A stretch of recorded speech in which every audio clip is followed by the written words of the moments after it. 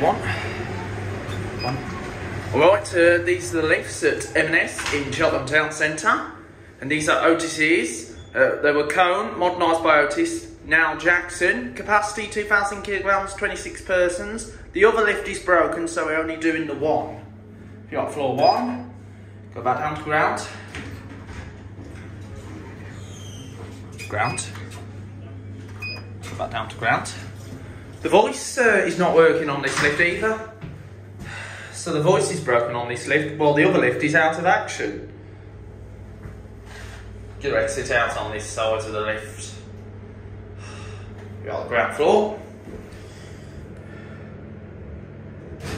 And that's it.